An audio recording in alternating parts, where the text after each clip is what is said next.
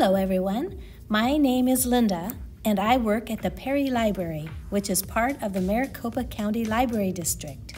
Did you know that we have some great digital English as a second language resources that are free with your library card? Here is a chart listing each item. The blue boxes have the sign up and login information. The resources on the left are on our website, mcldaz.org.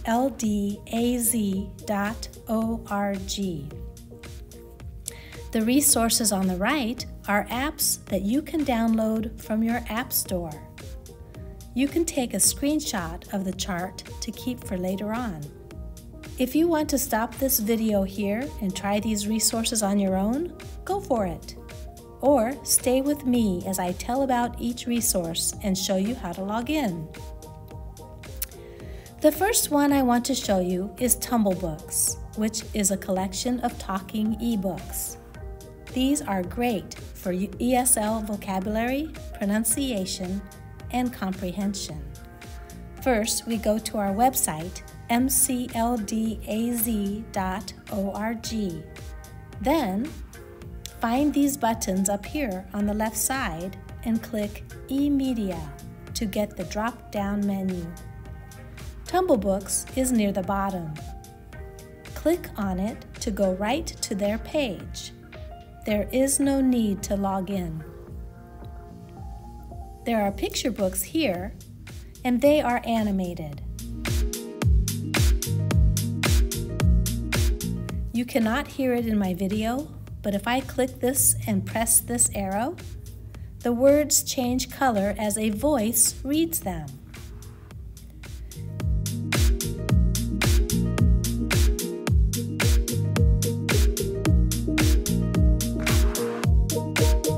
Click Read Along here to see more choices. There are easy readers, and then these are more difficult as we scroll down the page. There are no animations, just the reading.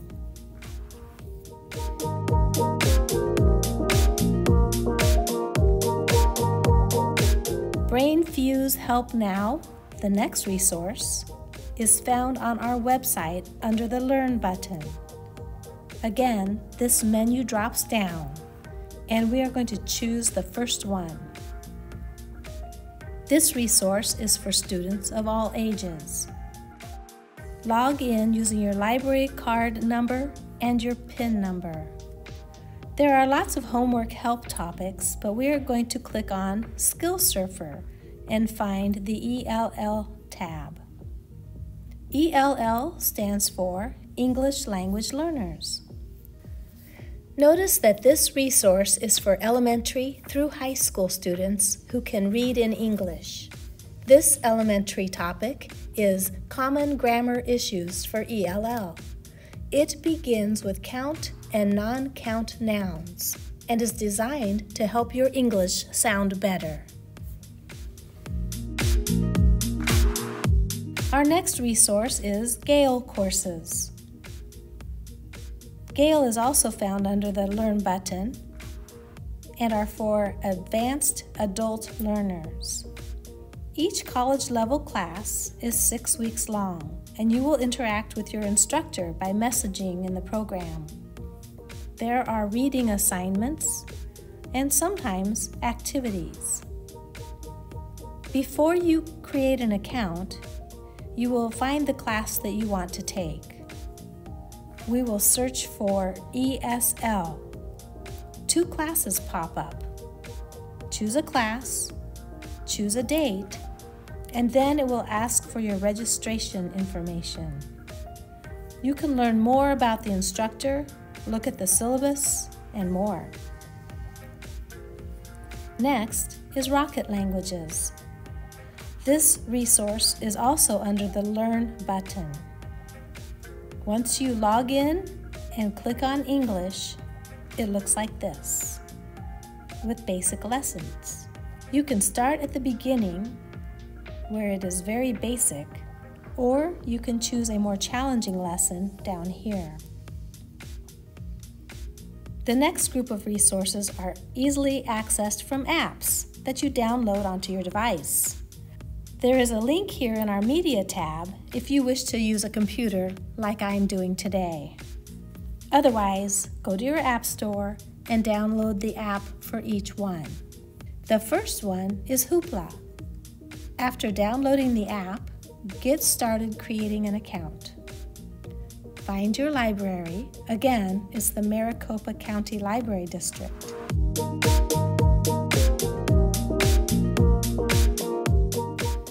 Add your library card and PIN number. Enter your email address and create a password for your account. Now you are ready to log in. Once in the program, search ESL to find books and audiobooks. Click on the book to check it out. With Hoopla, you get 15 checkouts per month. At the beginning of the month, your count resets to zero.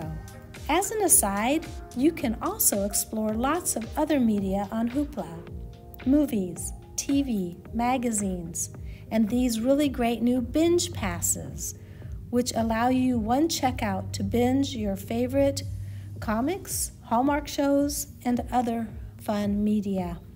Next is Kanopy. Kanopy is streaming video mostly indie and classic films.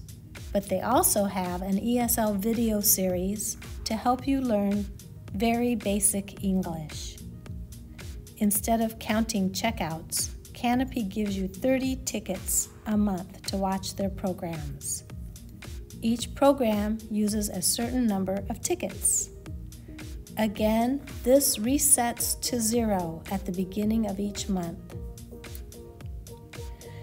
After setting up your account, like we did in Hoopla, you will be able to browse or search videos. When I type ESL here, it brings up these classes. Again, these are very basic English classes. Next, we will explore Libby.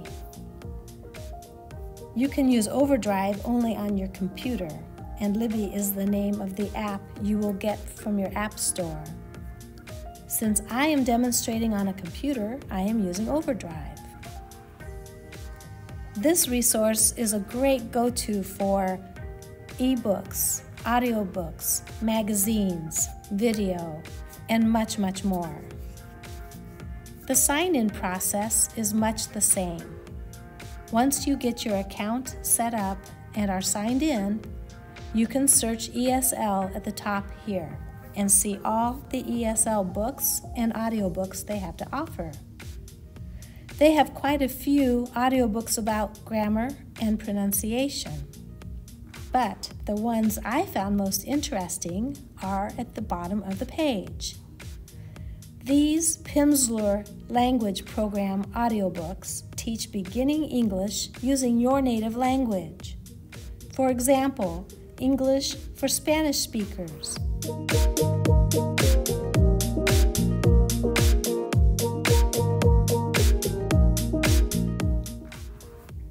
To borrow one of these items, click on Borrow. Then you can access it on your device. So now you can access our many ESL resources with your library card. Happy learning!